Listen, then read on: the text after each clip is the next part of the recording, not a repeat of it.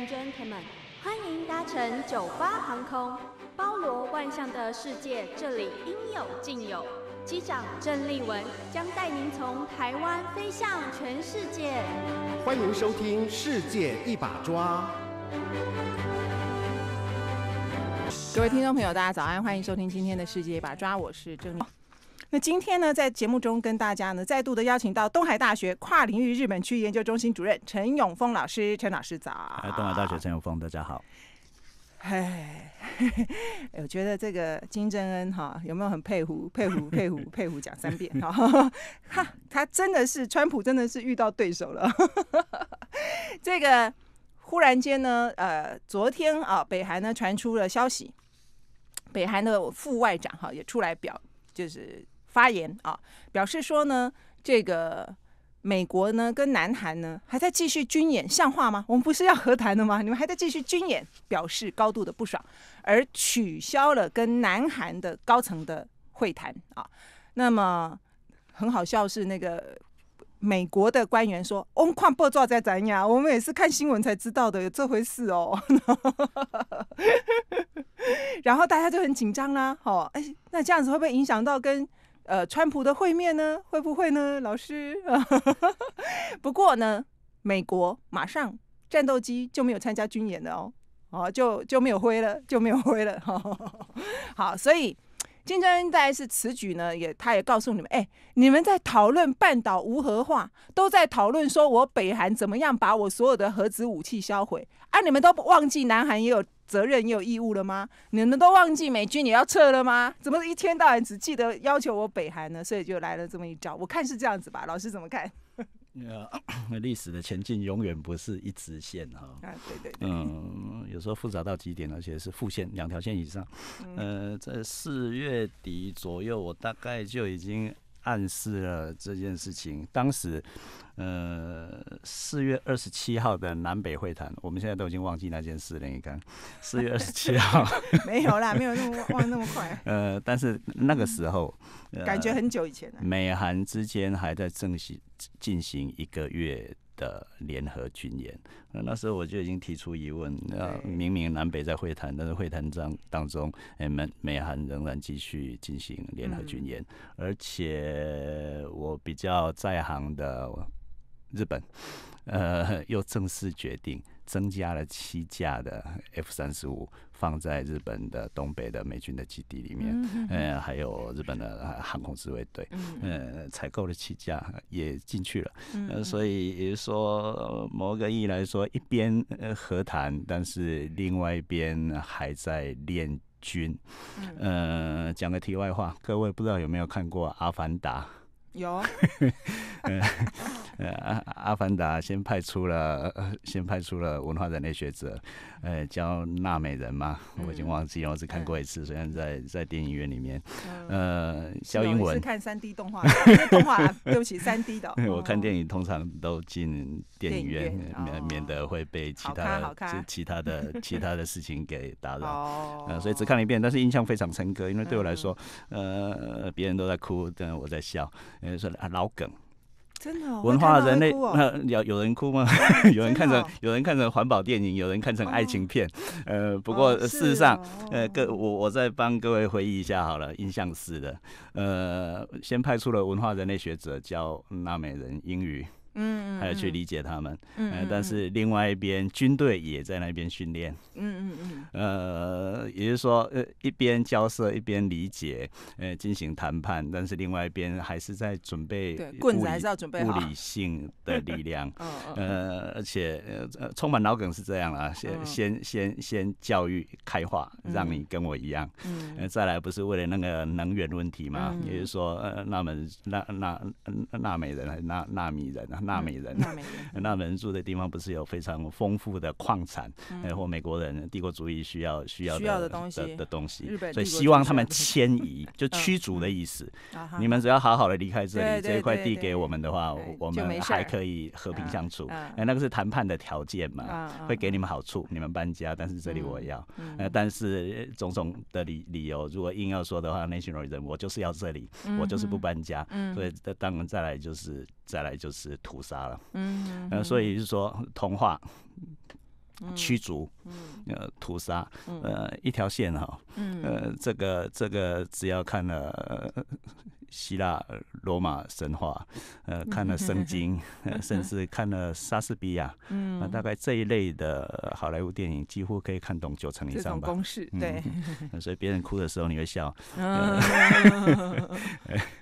差不多这个意思。所以说，呃，陈永峰要讲的是各式各样的准备都同时在进行，呃，所以很难说，呃，一条线会走到底。嗯。而且我也在这个题节目里面提示过。非常非常多次，嗯，核武的开发，嗯，呃，当然包括洲际导弹哈，嗯，呃，是为了跟美国。坐上谈判桌，嗯，呃，现在快到了，看起来是六月十二、十三，嗯，呃左右，呃，但是这一条路走了六十年以上，各位千万不要忘记，看起来好像下个月要到了，嗯，所以说再来呃坐上，如果真的坐上谈判桌，那不管谈判的结果如何，呃，要到下一步去，呃，说不定要更久的时间，也不一定。对呀，对呀，所以这中间。呃，老师讲的没有错哈，这中间本来就是非常的曲折复杂，就好像说这个，如果不是金正金正恩啊他个人的这个意志的话，那么因为你这个很难预料了，他会做一个什么样子的一个决定哈？那眼看着北韩呢，这个这个火药库哦，呃，就已经是风雨欲来啊，那么美国的这个态度越来越强硬啊。那其实也是因为金正恩忽然间释出了这个非常和平的讯息啊，才使得整个半岛的局势一夕之间有了一百八十度的大转弯，就是另外一条线嘛啊，就本来武力的那条线是主线的，好，哎，忽然间和平这条线跳出来了。但是武力的那条线呢，并没有因为这样子就就就就消失了啊。那随时准备在那边。那么美国呢，当然要摆出一个态势，就是说呢，今天的北韩呢是屈服在我的这个呃呃压力之下啊，是我这个美国呢正义无敌，有没有？代表正义的这一方终于战胜了邪恶的这一方啊！一切都是川普的伟大政绩啊！可是呢，这是基督教的线哦。对啊，这就是非常基督教的线啊，黑白分明啊，非常非常基督教。所以你看，美国的总统最喜欢讲这种话。之前小布希就是这样子讲，然后就打伊拉克了啊。对，而且消灭恶魔基本上是为恶魔好，免得你继续做坏事。呃，所以这一类的，以前我也常常在这个节目里面讲到先制攻击。嗯，比如基督教世界里面承认这件事啊。嗯，呃，为了不让你继续做坏事，所以停止你做坏事，对对你。对坏蛋是好事，所以就把那个邪恶之城给烧了嘛？有没有？这完全是基督教型的，就把邪恶之城给烧了。那呃，其实整个现代化的过程里头，因为是西方所主导的，这中间全部都是基督教。既然老师提到这个，其实这中间全部都是基督教文明的影子，包括这个马克思。他提出来的这种线性的历史发展，就是说历史唯物论、历历史决定论，最后呢一定是共产主义啊，工人一定会革命，然后最后乌托邦会到来。他讲的这种线性的历史，其实都是受到基督教文明，因为他们从小到大世世代代在基督教的这个熏陶里头成长，所以他们对于历史的理解，就是说最后会有一个正义的一个显现，好，会有一个最后的一个审判。其实他其实这些都是圣经长久以来，他们等于是说。已经是耳濡目染了，所以他们对历史的理解是这种线性的，是这种进步的。其实，在台湾民进党的史观就是这样，是一模一样的，是非常呃基督教文明的，嗯，然后是非常线性的，然后所以就把过去的历史中的全部都讲成是落后的、保守的、退步的、影响我们进步的，像。国民党势力这样子要把它打垮，才要启蒙啊，才要革命啊，才要正义转型啊。是，所以所以才要 对，没有错，这一些全部都是基督教文明的影子。那可能台台湾人从来没有去思考到这一层啊，完全都没有去思考到这一层。那完全跟东方的呃呃哲学是完全完全背道而驰。东方是一个圆呐。嗯，循环型的，对，东方是一个圆，嗯 没有起头，就像春夏秋冬一样。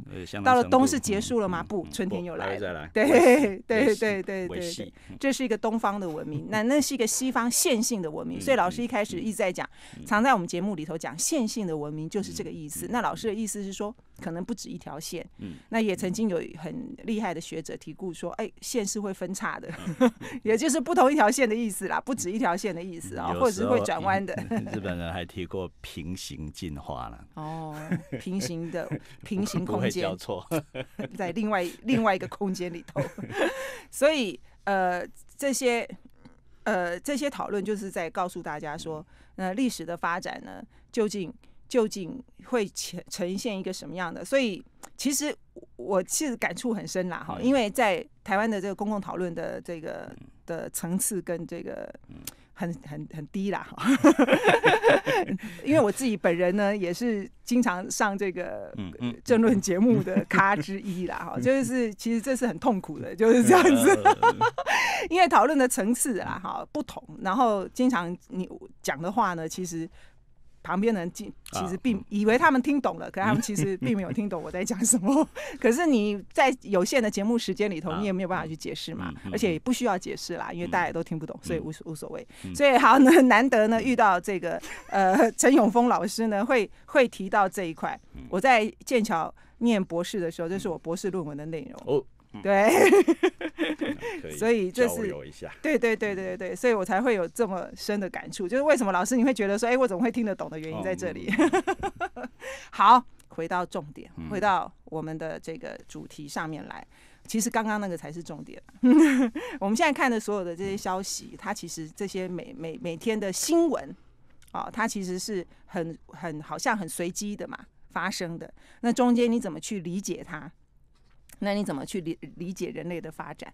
所以呃，金正恩的这一招呢，老师怎么看呢？会真的破坏了在新加坡的会谈吗？还是呢，只是金正恩呢在这里头，他也必须要，他也必须要拉高他谈判的筹码？不知道哎、嗯但是方向感上面是东亚往协调的方向走去，这一点没有错。嗯呃，只是说要真正达到呃武器的放弃、和平的到来，呃，时间要多久没有办法推测。但是陈永峰在这里必须要强调的一件事是，美国的战场不在东亚，嗯确实在中东。嗯嗯呃，这个各位可以从最近美国跟以色列之间，或者是以色列跟阿拉伯国家之间，呃，非常激烈的冲突，呃，可以看得到。日本学者，你们那个日本学者，好奇怪，我把你们归类在一起。如果替各位整理一下的话，文明的冲突，嗯 呃，那那是亨廷顿啊，呃，不过日本人真的像我刚刚康廷顿，下来这那个，呃，法兰西斯福山嘛，对法兰西斯福山是被亨廷顿攻击，呃，所以历史从来没有终结过。看历史 历史历史的终结，呃一一是标准的线性史观，有开始就有结束。你知道吗？台湾这么的推崇亨廷顿啊，嗯在台湾这么的从学界到我们的媒体到政界，一天到晚讲亨廷顿啊。我在剑桥的时候觉得呢，您哦觉，得他？简直是被被我们老师鄙视到一个鄙视到一个一嗯文不名的哈佛那个家伙，哈佛那个家伙，嗯不过不过死掉的时候可以讨论了。呃，倒是也被他猜中了，呃，非常多的事情。那大部分的事情猜中的话，表示不是用猜的，有一条线。呃，所以如果今天稍微附和一下亨廷的话，确实是这样哦。呃，五月九号，美国退出伊朗核协议。那这个对北韩压力非常大，呃，而且要恢复制裁。呃，再来比较厉害的是五月十四号，嗯美国将在以色列的大使馆迁到耶路撒冷，嗯然后马上就死人，马上就死人，呃而且还叫持续中。啊，持续中冲突还在持续中所以世界史的发展真的是复现。你嗯，看，世界大部分的地方在一九八九年以后在拆围墙，嗯，但是以色列在盖围墙。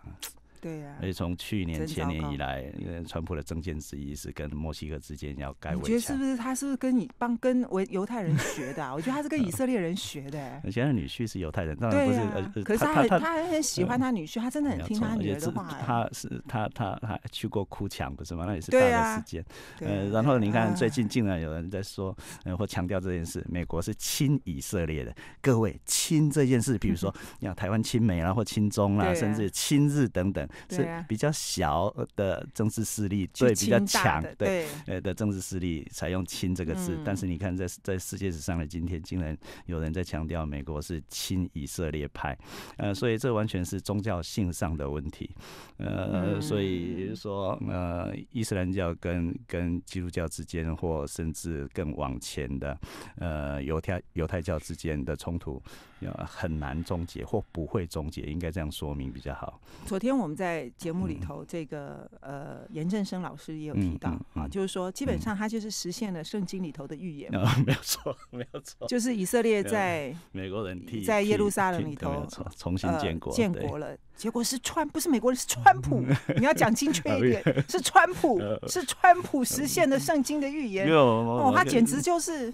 建国已经七十年了，不是？啊，哎，所以可是他是他对不对？是他完成了在呃把以色列这个首都还给了，啊啊，嗯，犹太人嗯啊，嗯嗯，对不对嗯你觉得对？呃你觉得川普是不是真的是这样想的？川普新兴宗教，我在在啊在这个节目也已经完全提到过，所以他认为上帝站在他那一边的话，他怎么样做都都是可以都可能是胜利的那一边。哦也就是说，所有的所有的呃不让自己当选的竞选法都让自己当选了，不是吗？嗯呃，所以在这样的状况底下，而且当初所有的民调，没有人认为川普会当选，嗯呃，但是只有某一个力量知道他会当选或安排他当选，呃，所以深信不疑。某一个力量，什么力量？呃，完完完全 完全的深信不疑，而且哦。耶路撒冷那个地方，各位当然知道是犹太教、基督教还有伊斯兰教共同的圣地。对，啊、所以但是因为以色列重新在巴勒斯坦呃那个地方建国，但是那个地方已经变成伊斯兰教势力的地方，呃，或者阿拉伯人住的地方，对，呃，犹太教已经没有在那里，甚至基督教也已经没有在那里，那里完完全全是伊斯兰教的地方啊、所以当然不冲突不行。嗯呃，虽然是完成了圣经里面的预言，呃，但是某个意义来说，刚好抓住了整个战后呃世界的变动的一条非常重要的主线。所以我要再强调一次哦，嗯呃，作为基督教国的美国，作为神国的美国，它的战场在中东。不在东亚，东亚嗯会走上协调路线，这一件事情没有变。嗯现嗯在出现的都是插曲。嗯哼，而且可以看得出来，就是说，事实上，深植美国人心中的他们其实最强的对手跟敌人，永远还是俄罗斯，不会是中国没，有错，永远不是中国。中国不完美嘛，不完美，不完美。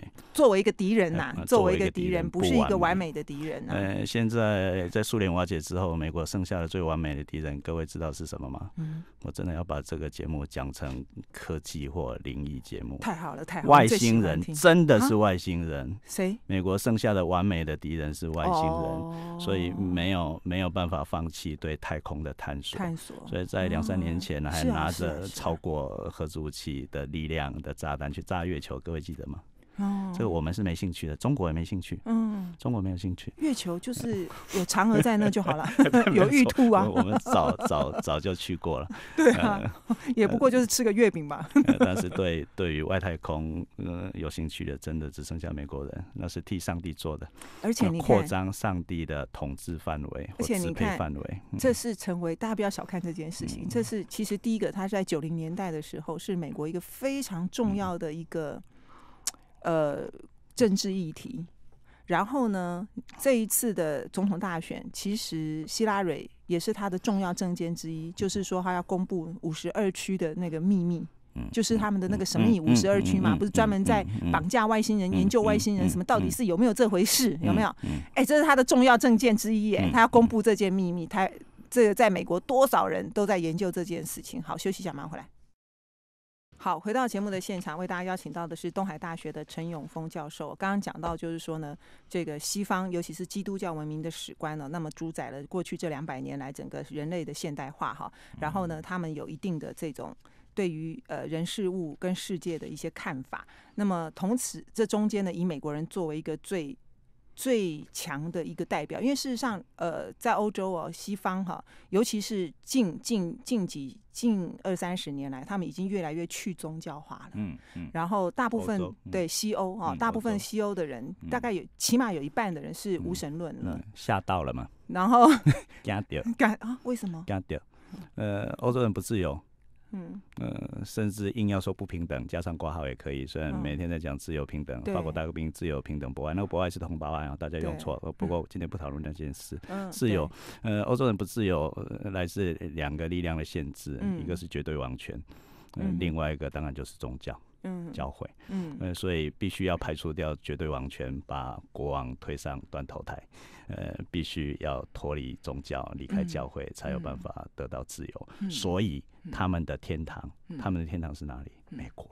对，所以虽然我刚刚才会讲到，虽然你看马克思是一个无神论者，把宗教贬低的，就是说不没有宗教是工人的鸦片，没有宗教没有办法得到解放。可是其实他的所有的哲学的理论，还是源自于作为基督教文明的一员呐、嗯好、嗯他的这种嗯世界观呐、背后其实就是有非常高的基督教文明的影子。嗯，所以刚刚讲到了，所以很多在呃欧洲的一些小教派，嗯当年都逃到美国去了。我们说的像没 Amish people 啊，很多的这种啊，在欧洲可能就会被压迫的这些教派，他们都逃亡到美国去。而且甚至嗯插一句话，甚至犹太人也一样。前两三年吧，流行过嗯小小的在学术圈流行过一个电影《汉娜·厄兰》，呃，平庸的邪恶，邪恶的平庸。对对对，呃，在里面的台词是他真的他讲的还是不是他讲的不知道，哈但那那研研究政治思想史的人可以去呃搜索一下。他说，要，美国美国本身就是一个天堂。大家问他到了纽嗯约之后什么样的想法？美嗯国是天堂。嗯，对于从欧洲过来的去的人的的犹太啊人而言，美国是像天堂。像我老公念那个 New School 很有名的 New School 就是这样嘛，他就嗯二次世界大战这些犹太人这么多有名的学者。那个就在汉娜厄兰教德文的地方。地方对啊，嗯。他们这些对，嗯。就是欧陆嗯。的所有嗯。的这些一流的学者哈，嗯因为他是犹太人的关系，因为他是嗯。左派的关系，嗯。就遭到很嗯严重的迫害嘛，没有错。所以他们当时就跑到美国的纽约去办了这一所 New 嗯。School 这个学校，嗯。所以我老公就在那边念，他老师就是就是其中一个大师，嗯。所以。呃，到了美国之后呢，所以你看现在欧洲人就会觉得说，嗯。美国为什么这么的 religious，好、嗯嗯这么的嗯。强调宗教，然后什么什么嗯。都要讲天佑美国、嗯 God bless America，、然后美国总统就职不是就宪法就职，嗯是就嗯。圣经就职。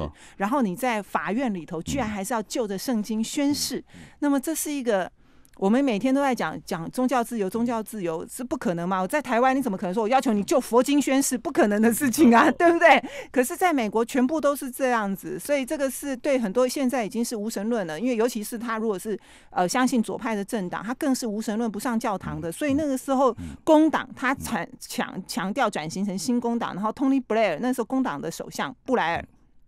跑去上教堂才会引起轩然大波，嗯。嗯很多老工党是没有办法接受，我们这工党的人去上教堂，像什么话呀？可是那个时候就是一个这样子的一个，反正现在就是左右都几乎在在快速的退场当中了哈。那这是一个在整个基督教文明很简单的跟非常非常简单的跟大家讲这样的一个过程，然后来到了美国之后呢，就变成是非常的呃非常的非常的宗教性的。对，没有错，美国是神国啊！各位各位听众，如果手上有美金美钞的话，拿一张出来，几块钱都可以。好有钱哦，你身上就有美金呢，我靠吓林肯到我，。嗯，没有没有，这个是为了念给学生听的。哦的啊各位把美金拿出来，嗯，没我们啊，你也把新台币拿出来好了。嗯新台币上面印的是中央银行，对不对对？对对啊对。呃，我身上还有日币，日币印的是是日本银行皇，呃，日本银行，哦日本银行就是中央银行的意思。然后一些文学家，美金的背后，嗯。各位跟着我念一次。那我们就变美国人了。：In God 啊。We trust。对，每一张美金上面都印这个，所以、当然我是乱说的哈。呃，美金是上帝的保证，嗯。呃，不是银行的保证，呃，所以呃所以是完全的神国。呃，欧教欧洲因为受过宗教的苦，嗯，呃，所以非得政教分离不可。像我那个嗯。像我的同学哈，他我我室友他是从爱尔兰来念啊 law 啊 school 的，啊爱尔兰就是嗯最在算是欧洲比较晚西欧啦，非常非常晚脱离嗯。这个宗教 控制的一个国家，他们永远是只这样。两只手比出来嗯，就是政教是绝对不分的。嗯所以爱嗯爱尔兰作为一个天主教国家，他们一直不能够堕胎合法化嘛，嗯然后所以所有的女生都要跑到英国去堕胎。英国真是个堕落的 地方啊，英国真是 happy 啊，真是自由开放啊。信了英国国教之后，就不受天主教的束缚了。来，我我我我们是教育节目哦，在考各位一个，继续，呃，美国有总统以来唯一的不是基督教徒，是天主教派的总统，只有一个，哪一个？谁？我不知道哎。真的不知道吗？哦。来，倒数三秒，三二一，被暗杀的那一个，哦，Kennedy，没有错，真的啊？唯一的天主教徒，是哦，再也没有出现第二个他们家族居然是天主教徒啊整个甘乃迪家族哎，应该是。对呀，他不可能自己一一个人嘛，应该是是好怪哦。没有错。哦好特别哦你讲的爱尔兰，你说我一一个不是基督教徒，不是奥巴马吗？奥巴马根本就是穆斯林，不是吗？没有啦，我乱讲。教徒，不是新教徒。奥巴马不是被被他们抹黑基督教吗？当然包括了新教跟跟天主教，他奥巴马 middle name 还有胡山不是吗？啊，没有错，没有错，呃，所以呢，那个是个厉害的事情。但是我一直强调，奥巴马是黑色的白人，奥巴马是白对啊，对人，呀，他是白人，他是是白人，就是他的阶级啦。呃，对。他脑袋里面是白人，对呀，对呀，呃，这另外一回事。那如果要再追加的话，我本来以为呀，原来呃黑色的白人就是有色人种呃的奥巴马当完总统之后，应该是希拉蕊变成女女性了，嘛，大家都这跟女性，呃，所以这样的历史的进化哦，嗯，有就真的是一条线，呃，有色人种在在女性前面，哎结果大逆转。川普，大逆转，完全的否认女性的或否认有色人种的的的川普，呃，所以川普这一条线是历史的。倒退，呃，或者是不过就是三四年的插曲，我们还得真的很认真的看一下。今年年底十一月左右的中间选举会看出一些端倪，各位要追追踪一下。嗯嗯，可是其实其实我觉得川普代表的一直都是我所理解的美国。呃，WASP 吗？我我的白意思。本来就是啊，我觉得川普才是美国，啊虽然他住在纽约，纽约不是美国。就说我们所了解的美国的这种自由派嗯啊的这些所有的这些想法啊，以纽约为著称的一个大本营嘛，哈，嗯它不是美国嗯，百分之嗯我的理解啦百分之九十的美国是川普嘛。嗯嗯嗯嗯，那我们所想想象中的美国的这种所谓的这种很进步的啊、很开放的、很自由的啊，像 Woody Allen 的这种纽约啊，那是那不是美国。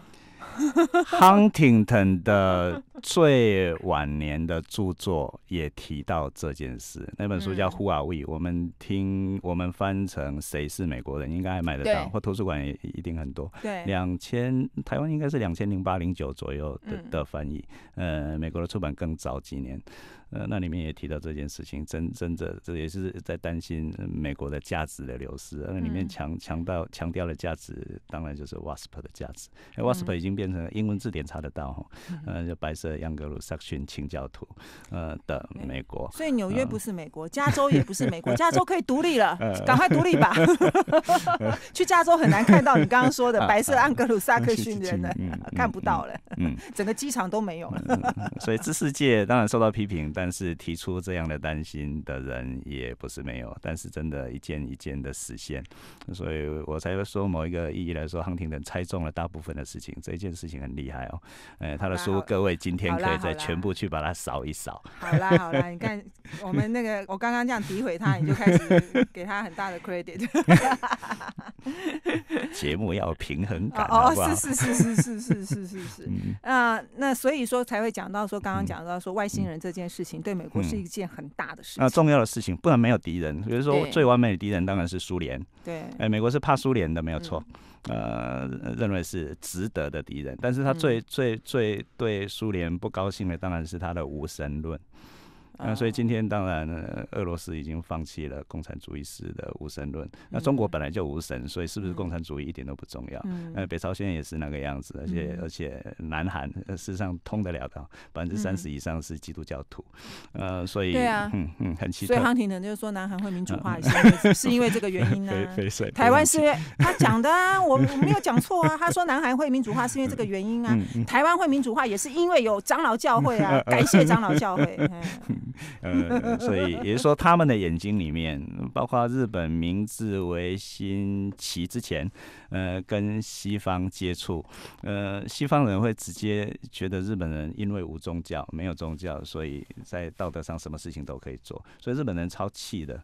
呃，所以新都护道之后才用英文写出了武士道那本书哦。嗯，我们武士道武士道三个字一直念，但以为是日本长期存在的东西，不好意思，呃，是日本人为了跟西方人说明，我们也有资格信基督教。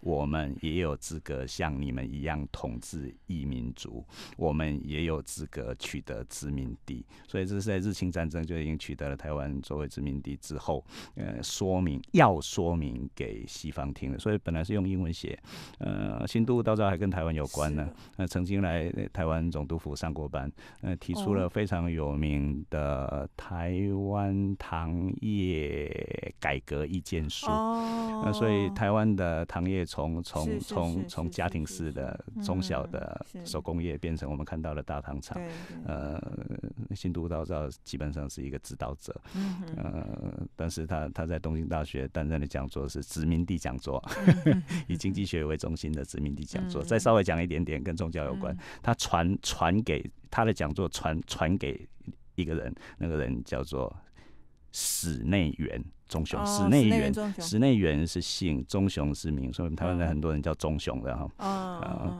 杨来哈拉特达哦，那他的另外一本书，他写的书，杨来室内元中雄写的书更厉害，就是帝国主义下的台湾，每个人都知道。嗯，这本书已经出版八九十年了吧？呃，但是仍然是世界上哦，不是只有台湾或日本，世界上研究台湾的第一名。的书，这个意意义只有两件，一个是台湾研究在世界上没有进步，呃，快一 一世纪；，另外一件事情是那本书真的太厉害，嗯，我我们相信是后者好了。还有史内元中雄很重要，他是无教会主义者，基督教徒。但是不强调要上教会，或者或者是呃直接透过圣经跟跟上帝对啊，不需要透过代理人呐，不需要透过代理的组织啦，他们不要教会的意思是这样。所以基本上这个跟欧洲型的基督教完全的意志休息一下再回来，回到节目现场，世界一把抓。呃，今天为大家邀请到现场是东海大学的陈永峰教授啊。那么讲讲到说，在这些整个的现代化过程里头，那因为呢，东方就很凄惨嘛，被帝国主义入侵嘛，被当做殖民地，或者是如果非殖民地的话，就是直接侵略嘛。那在这过程里头呢，伴随着就说东方现代化的过程，其实是伴随着来自于西方帝国主义的侵略，或是殖民，或者是像日本人这样子的自我殖民。因为他成功的开放了，而不让而不遭到西方的殖民殖民主义的这个侵略啊，可他快速的自我殖民，然后快速的现代化，然后现代化过程里之后呢，他觉得说他可以取代西方的帝国主义来完成在亚洲的现代化，由他哦由日本人来完成。所以他觉得日本的帝国主义跟日本的这个帝国主义的殖民也好、侵略也好是有道德性的，因为我帮助你们，我帮助解放台湾，我帮助台湾的现代化，以免你们被西方帝国主义的。侵略跟占领嘛，简单讲就是这样。对东南亚更明显，东南亚是啊，更明显。他讲的三部曲，老师你刚刚讲的这个《纳美人》《阿凡达》，在台湾也是一样，非常 exactly 一样的。一开始就是说，你要留下来当日本人就留下来，你不要你就回回中国，你要当中国人，请你回去啊，回去。那不回去的，接下来你就要归顺，不归顺我就打你嘛，就这样子啊，就就惩罚你，屠杀就是这样，然后完成变成他们的现代化的一个重要的基地。您说在东南亚更明显，更明显，嗯，因为东南亚更是蛮夷之邦，也也不一定 要这样说明，而是东南亚本来所以更需要日本人的那个呃，日本人说明是帮助他们现代化。东南亚被西欧的好几个国家给分割。殖民了，嗯，比如说印度跳过去不算的话，印度不算东南亚。越南啊、泰国啊呃都是啊，从印度旁边的缅甸，缅甸啊、是英国的殖民地。嗯。呃，再来马来西亚是马来英国的殖西亚也是英国啊。现在新加坡本来是马来西亚的一部对分。啊对啊，呃，然后中间隔一个泰国，看起来不是嗯谁的殖民地，但是嗯是一个呃缓冲地。缓冲啦呃然，后就是为什么那个太皇伟大的原因嘛，我们都看过《国王与我》的电影，但是 但是被两边都高度的影响。对对再往东的话，辽国、柬埔寨、越南就法国的殖民地。嗯。过了海的话，荷兰的嗯印尼，嗯。呃，还有菲律宾，各位一定忘记了，本来是西班牙的殖民地，但是嗯。一八九八年的美西战争，呃，就变成美国的殖民地，所以美嗯国正式来到太平洋的最西边，呃不过比日本取得殖民地才差三年而已。嗯。呃，所以你看，有美国，有荷兰，呃，有英国，有法国，在整个东嗯。南亚里面，还有一件事情各位不知道，一九四一年以后的太平洋战争，唯一把白人白人的统治势力全部从东南亚赶走的是一嗯个国家，嗯那个国家叫日本，嗯就嗯日本一个国家统治支配了东南亚，嗯，嗯、这是唯一的哦。对啊，呃，西方的话，好几个国家做的事情，日本一个国家做完了。嗯，所以所以日本人才会，嗯。日本人老师可不可以这样讲？嗯就是说，嗯。日本人到今天不知道怎么去解释他们的历史。呃，日本人看自己的历史，嗯一直像在看戏一样，嗯客观到好像在看别人的历史。这个不是我说的，嗯这是有名的一桥大学。一桥大学是日本最棒的商科大学，本来叫东京商科大学。嗯一桥大学的某一个研究历史社会学的的当过校长的人叫阿部金也，阿贝 King 呀，嗯呃，他非常直接讲，他是历史学家哦，以历史学家的立场说，日本人日本人很重视历史，嗯。但是在看自己的历史的时候，像在嗯。看别人的历史一样，呃，那很客观呢、啊，非客观到极点，所以我们会受不了，嗯。就自己做的好事坏事，自己影响到别人或帮助了别人，都都不论，都好像不是自己做的，哦，不是自己做的。比如说南京大屠杀不是自己做的，台湾统治不是自己做的。不是？你看看别人的历史，你会承认啊，说有有有做这件事情，他这个所以所以也不叫客观呢、没有道歉或承认错误的问题。为什么呃，说因因为自己没有在里面嘛，没有在里面？那谁呢？自己是谁去南京大屠杀？厉害，你太厉害了，问这个问题。嗯所以也就是说，第二次世界大战的责任在哪里？嗯到目前为止，日本人竟然没有办法在自己的历史里面说明。当然在天皇没，不然呢？嗯不管他是有没有真的力气，嗯虽然陈永峰在这个节目里面主张过非常多次，天皇什么都没有，三无，啊没有权，没有力，甚至连钱都没有，嗯但是还是只有他不然谁代表日本呢？但是嗯。既然天皇在第二次世界大战之后，呃嗯。的军事审判没有被当成战嗯犯，战犯，呃，所以推到最前面，在审判里面唯一很公开的承认自己的责任是东条英机，嗯。呃，不过是一个陆军的的将官而已。那嗯当然当过首相，但是所有的日本人，包括历史学界，全部人都知道，东条英机不过就是一个公务员啊。嗯。那这个又回到、呃跟西方连在一起的话，汉娜嗯鄂兰讲的平平庸的邪恶，邪恶的平庸，一模一样的事情，好不好？嗯呃，所以那些坏事都是透过他的手做的，但是那一只手是不是他的，不知道的。嗯，呃所以啊，所以才会给外界一个很强烈的印象，就是日本人不知道怎么去面对自己的过去跟历史，他不知道怎么解释跟说明、哎，那个是不是自己不知道？好迷惑的一个民族所以哦。刚刚刚刚刚刚主持人也提到一个非常厉害的，就是日本的自我殖民，那个当然就是西化嘛。对啊那，西方没有完全就是进行对日本的殖民统治，但是日嗯本自己把自己变成西方。对啊，就是你讲那个天皇穿那个燕尾服出来，有没有？啊，一天喝一瓶红酒呢，跟真的一样哎、一天喝一瓶红酒，拿嗯德国的威玛宪法当成自己的的的宪法，嗯。呃的名字宪法哈。可是台湾人很很大一部分人很羡慕这件事哎、呃 就是尤其是独派的本所谓的本土很羡慕这件事哎、很羡慕这件事，就是说他们一直很希望自己能够自己自我的完成西方对我们的殖民。啊，我因为西方对我们的殖民非常的不完全跟不完美啊嘛，然后最后是通过了一个代理人叫做日本嘛，那日本也没关系，也很好啦。可是基本上也就是没有完成啊。我觉得他们有这样子的一个遗憾，就是说今天台湾要变成是一个现代化，所谓的现代化就是要跟西方这些所谓的引领现代化的国家一样的话，就是就是要完完成这个殖民的过程。嗯，现近代化、现代化最 modernization 最强力的一件事是民跟国的合一，就是文化跟政治的合一。嗯，所以民进党图才会有人一直强调这件事：一民族、一文化、一国家。嗯，所以台湾。民族有台湾文化，台湾民族必须建立台湾国家，那这是一条线的。但是，但是也就是说，这一类的事情是非常非常外来性的。嗯，所以如果硬要强调的话，民进党是外来政权。嗯，脑子啦，看起来看看起来是本土发的本土政权，但是外来性。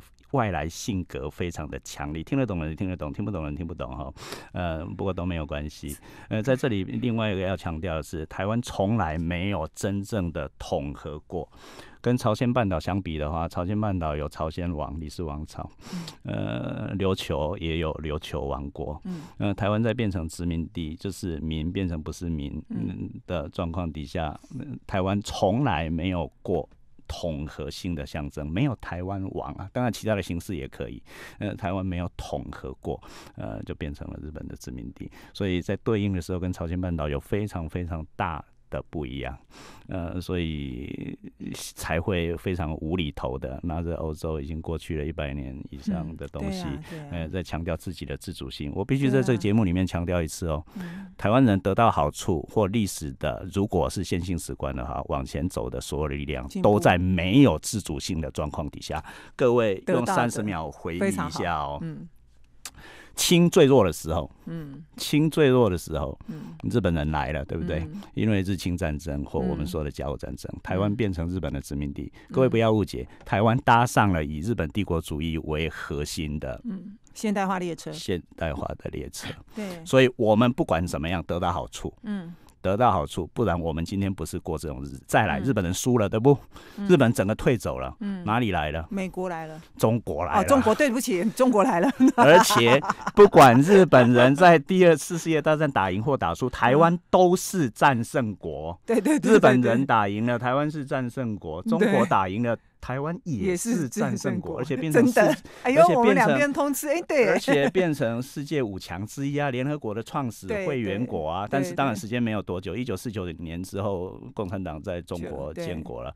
但是输的那一边来到台湾，蒋介石来到台湾不是没有意义的。嗯，蒋介石来到台湾是把台湾跟共产主义社会完全隔开，完美的跟美国连在一起。美国嘛，对。所以各位的父兄们留学的地点是纽约、波士顿。对。而不是北京，对对，或者是其他的，有有人去莫斯科留学了以前，对，所以我们是完全纽约比较近，对，厦门比较远，虽然有人游泳过去，对，再来那个年代，对，再来，再来。整个西方的市场以美国为中心的没落、嗯。弱化，嗯，我们又有一批人非常轻松的可以到北京、到大陆去、广东去做生意，对，赚大钱。我完全不是在自己的自主性底下完成我们今天的这样的系统，所以千万不要太强调自主。这件事，呃，在台湾史里面，所以 你等下出门会被人家打死。你不要不要过度的解释就好，这只在说明台湾史，好不好？这个叫本来就是嘛。陈永峰三十秒台湾史，用一个更加 open 的态度去看，的确是这样。日本强的时候，我们在日本底下成长；所以再讲一句，中国强的时候，我们在中国底下成长；美国强的时候，我们在美国底下成长。如果还有时间的话，再讲一句，一定会出去被打的。好好好，我最喜欢啊，没有啦，请赶快讲。再来的问题是谁来驱逐民进党？哎呦，而且外来的东西一定会来，也自己会走，包括清，对对，包括日本，对，包括美国，甚至包括国民党，包括国民党，都 自己来，自己走。